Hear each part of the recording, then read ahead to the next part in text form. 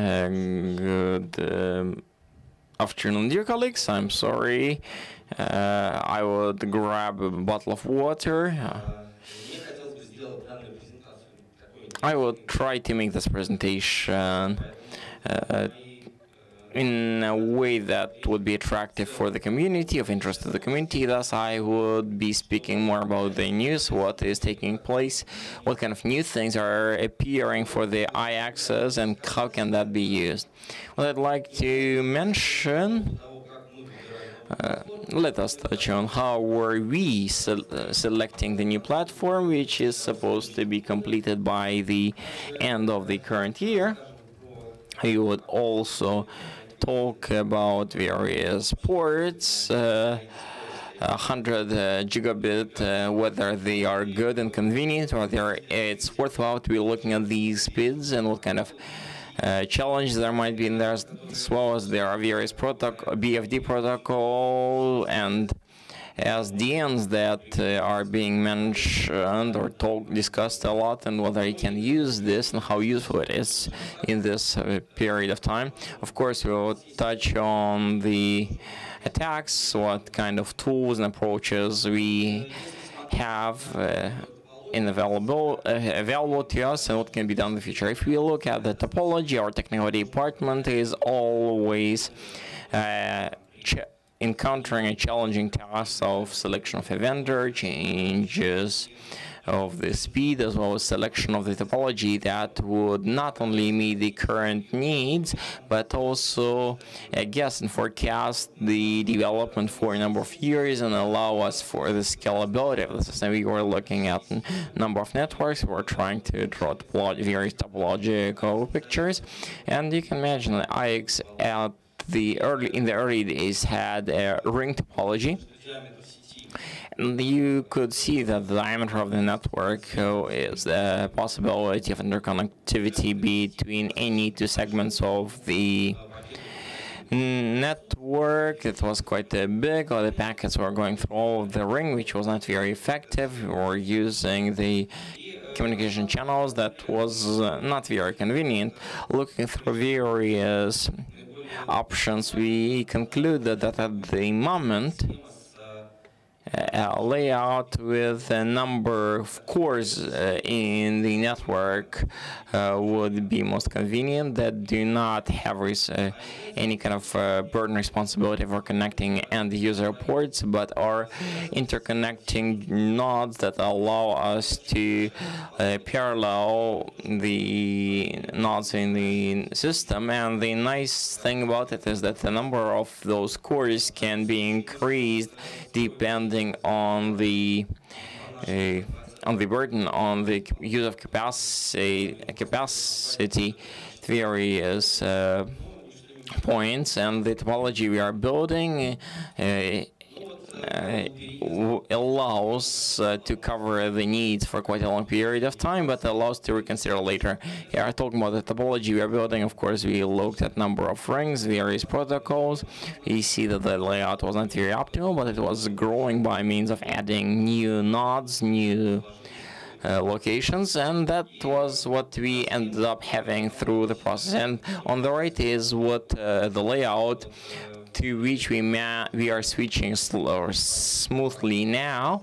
In the core, we have two commutating units, uh, central cores that are located to energetically independent sites, uh, remote from one another, and and all nodes are in mandatory way are being connected with all those with both of those cores. Thus, we are not just uh, uh, providing for the the workload, uh, breaking down the workload, but also providing for the reliability if one of those nodes would uh, get out of the work, and that way the work of the specific access points is not influencing others. And on top of tier 0 and tier 1, you see those coming commutator units, and tier 2 are the so-called branches that allow us to launch in a mobile uh, quite quickly new points, new nodes and then slowly building them into our infrastructure with minimal at the minimal costs. the stages he went through are all self-evident. We had to reconsider our fiber optic communication channels. We had to organize new protocol types. And the challenging tasks we were faced with was not just building a new layout, but the integration with existing equipment. In here, we've studied the possibilities of the protocols that uh, would not influence uh, negatively the existing, uh, the old existing equipment, and thus we have implemented MLAG protocols that allow us to go into uh, this layout and and go away from the the older protocols. And thus uh, here you can see the specifics of our transition. You see on the graph uh, quite a simple measurement system that was measuring ping uh, to the node. And uh, since we've moved into this new core, uh, it's evident that the diameter of the network went down, the speed increased, the, the response time has decreased, and we have seen the advantage at this, even at this stage.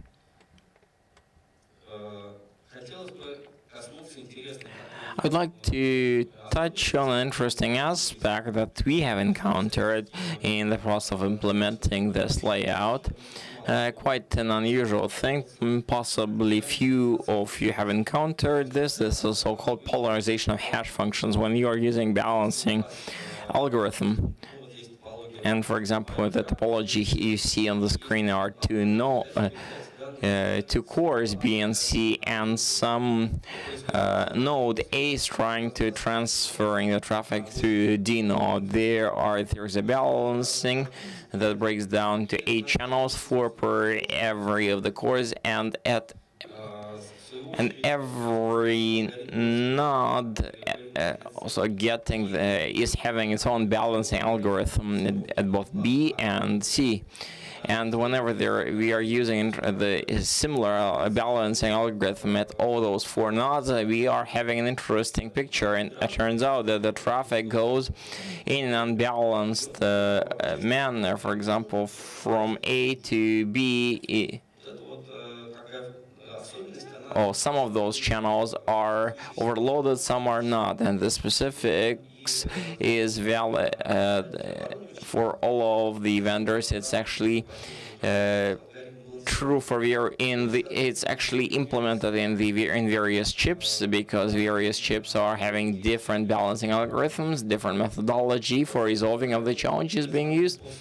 Here I show you the three main approaches for resolving the issue of polarization. First is adding random uh, value seed to the algorithm, the, basically the task is to change the functions of that wouldn't be giving the same results. It's either changing the uh, value or the change the algorithm of balancing or use various communication lines that are also one of the parameters of the function. Moving on from details of our migration, uh, let me talk a little about the history of uh, the the current situation with the development of the speeds. Uh, it's not a secret that IX is uh, a little bit um, ahead of other technologies. So we deal with the speeds which the most most of our operators uh, will have to deal uh, a little later. sometimes they lag behind the speeds which which are uh, around, and uh, we consider speeds and we look at Uh, where technologies are developing, and uh, you can see that. Uh, look on this graph, which we took from one of our sources our working groups, with uh, the group who uh, develops uh, standards, we see that the server speed and the network speed, they do not grow together. server speed grows not that fast and uh, network speed uh, grows faster. So you know the standards. They were the uh, 10, 40, 100 standard gigabits for the wireless technology. For example, there are two standards, 2.5 and 5 gigabytes, and this idea is one of the reasons of developing these standards uh, in order to use those copper uh, wire networks which uh, have been built already and they're used for connecting the same uh, points of access. And uh, so they invented two more standards. For the servers, yes, uh, there's 25 uh, gigabit standard. It's some kind of a transitional standard in, in when you don't have uh, when 10 gigabits is uh, not not enough, but 40 gigabits too expensive. As for the networks, yes, uh, we are going to uh, the 40 gigabytes per second. This is the standard which is now being discussed very actively in the nearest future. Uh, we will uh, have it, I think. As for our uh, 100 gigabits uh, solutions, now we have implemented uh, 100 gigabytes ports, and uh, we looked at different solutions, and uh, we did we. So first first generation modules we didn't use them, so we moved on to the uh, second generation modules, and uh, and uh, right now we have uh, 32 uh, ports. We can support it within one unit. And of course, it consumes less energy and it allows us gradually uh, move without any changing infrastructure uh, move on without changing electric uh, schemes. And um, uh, let me talk about a bit the pluses and minuses of these speeds. yes, speed grows. Uh, it's it's clear the uh, energy efficiency is good, but the minuses are uh, the second generation is limited uh, in terms of distance, and the first generation for for us, uh, it was important that it's uh, 10, 10 kilometers distance, and which is not big distance. And the second is uh, the pr- equipment price is quite high, and implementation is uh, doesn't happen as uh, quickly as we would like it to be. And uh, it's uh, interesting to notice that uh, what you do if your port is overloaded, and God forbids it happens on the 100 gigabytes uh, speed. This is the graph for our clients that. Uh, and we found out that the port is overloaded, so you have to connect second port, but the second port is uh, expensive. You cannot buy it very quickly. Uh, you have to do something uh, to uh, combine this port with the 100 uh, gigabyte. So you cannot build one either channel. So either you go back to 10 gigabytes uh, until you and, wait until you can buy the second port, or find some other solutions. Uh, buy expensive equipment, install one more port for 100 gigabytes. Moving on.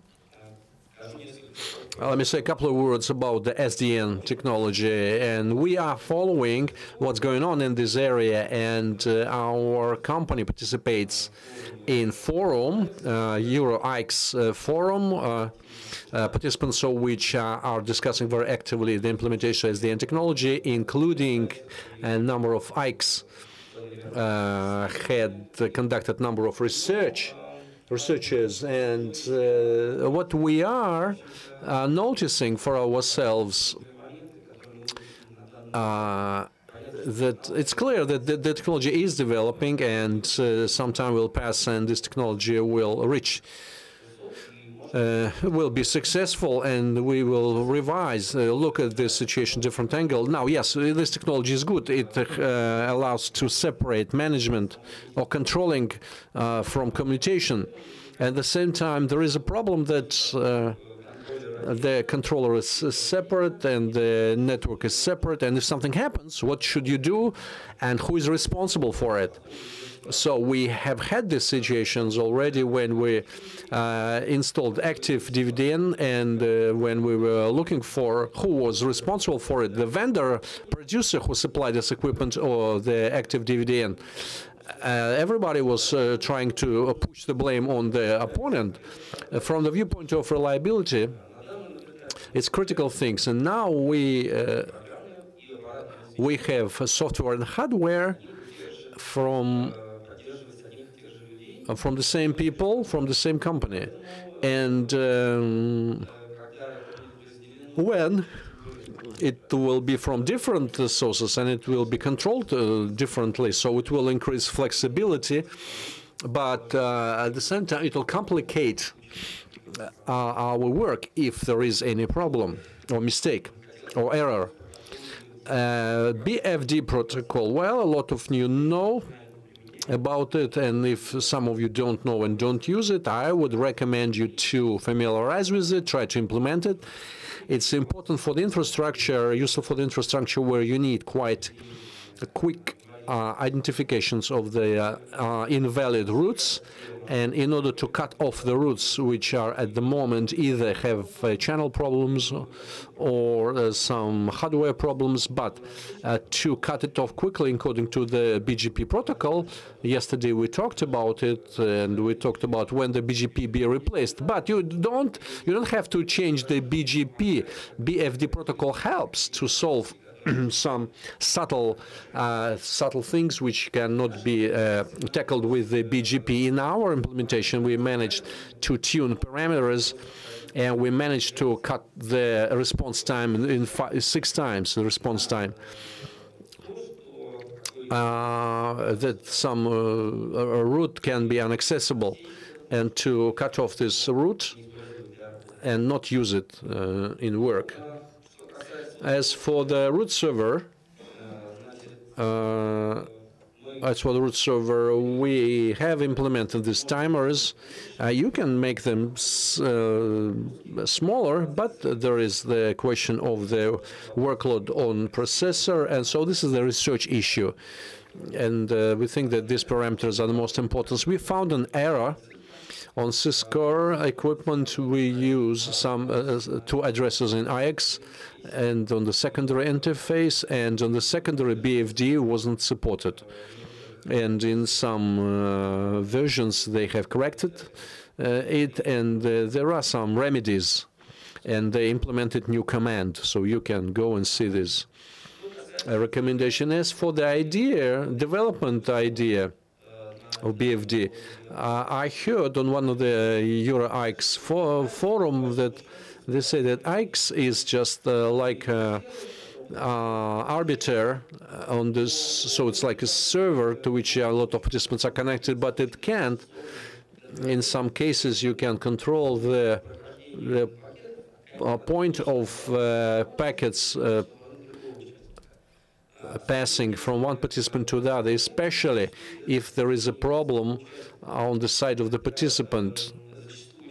It is uh, very often networks of partic arts participants. They are distributed networks, and they have a lot of switchboards, switches, and uh, they have some specific tunings. And uh, so, so sometimes we see that the traffic cannot go from one provider to the other. And uh, the method which we use now, we monitor traffic from the both ends and show operator that the problem is not about our infrastructure, it's uh, your problem, so you have to take care of it. And usually they identify the reason very quickly, and the operators, uh, providers can find where the error is. The idea offered by community is uh, to implement uh, some kind of a protocol sig signaling uh, using the BFD protocol, the connection between two end operate IX operators, uh, and to uh, inform BFD about it. And after that, uh, excuse me, for use BGP for the route service, and the route server will not give the routes which um, uh, go nowhere because they're not connected, for example. We'll see. We'll see. It's kind of a draft. Uh, we'll see what, what is going on. As for the DDoS protection of IX, we have implemented black hole filtering. Uh, it's quite a simple scheme is shown here, uh, which is realized. It's uh, for for example, the hackers trying to send a lot of packages to some kind of a, uh, to servers of the victim, and the route server uh, to which uh, victim uh, reports that it's been attacked and it informs the community. So this information is being sent around on the BGP protocol to all IX participants, and they, on their routers, uh, send the traffic to special uh, next hop, and this traffic is uh, blocked on the um, entrance to the IX. So we solve the problem of the extra load on the IX, and uh, we help operator which is attacked. Uh, so it's clear that uh, it's uh, it's a good solution, but it doesn't solve the problem completely. But at least it uh, solves the problem of the work of the whole infrastructure. It doesn't need uh, um, complicated infrastructure, info configuration, uh, but all operators should take the slash 32 route. We have quite strict policy of our route servers, so that is why everything which we announce, what is uh, everything which is route server is announced, you can accept it without hesitation. It filters quite uh, well uh, ICE macro and uh, prefixes. And according to our analysis, we see that 85 85% of operators uh, they accept these uh, routes and the traffic goes where it should. So the and we are using this method in on our points. And uh, let me add that uh, you can use it on the private peerings. Uh, there must be an agreement between two operators according to the BGP protocol so that they can use some special filter address, and you have it on the screen. Uh, some words about uh, testing the anti-attack technologies we have tested, and we are looking. We're continuously looking for new solutions. Uh, we see what's going on on the market, and last year we looked at uh, solutions uh, about the perimeters for, for anti-DDoS uh, attacks perimeter, and uh, summing up uh, uh, everything which I said, and not only just about this specific solution, but in general about the technology of protection technologies, uh, I can say that you can in future have this technology and uh, this technology can be integrated uh, into the route service technology. But the main problem of the implementation of such solutions is that the price of the hardware is quite high. And um, now um, the um, participants are not ready to pay such money. Uh, it's uh, they're not ready to pay such price. So we are open for proposals. We are looking for solutions, and uh, if you have more efficient solutions, uh, we definitely will uh, find a way how to implement it. And the future, which we all are interested in, this is uh, filtering technology, which uh, helps to solve the problem of uh, attack protection. It's flow spec technology, which allows to create filters based on uh, the data which we have about the attack, and it helps quite efficiently to protect uh, through the uh, filtering the content and the protocols and ports which are being attacked. initially, it was developed by Juni and Arbor, uh, but recently it has been uh, developed on uh, other hardware, on Cisco, and um, it has some peculiarities in implementation, which I would like to tell you about. This technology does not like mistakes, errors. It has the problem with reliability if you have launched uh, a big filter and it can be quite difficult uh, to re realize it on some hardware. You can lose packages, but Cisco have done one more thing. It's uh, BGP persistence. Uh, for example, when you uh, realize uh, you activate some filter and there is an attack, and this attack changed the vector and the equipment suddenly destroyed the network, all filters disappeared, and the attack doubled. So there is a persistence system which allows to uh, hold this attack uh, until you restore your all protecting capabilities. And in conclusion, let me say that our company this year will celebrate its 20th anniversary. And uh, let me congratulate my staff uh, our people and I wish uh, all of us uh, go forward, uh, go uh, in step with the time and market. And thank you very much for your attention. Thank you, Alexander. So we're lagging behind with our time a little bit, but we do have time for one question, a quick one.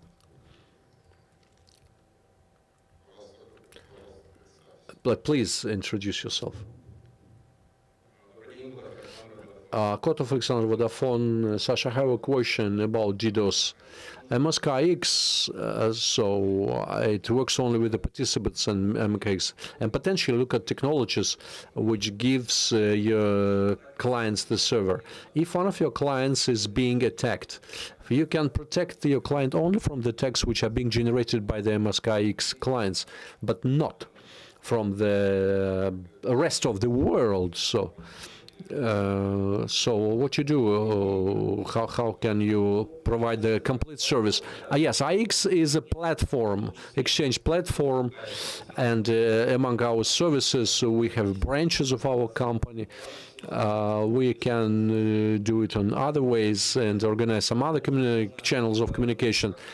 And as an option, you can consider this service as the organization a virtual link for this operator which is attacked uh, and filter not just the traffic which goes through IX, but also which ones goes comes from other operators through organizing a separate channel, uh, a separate VLAN within the uh, SKX. Uh, and this VLAN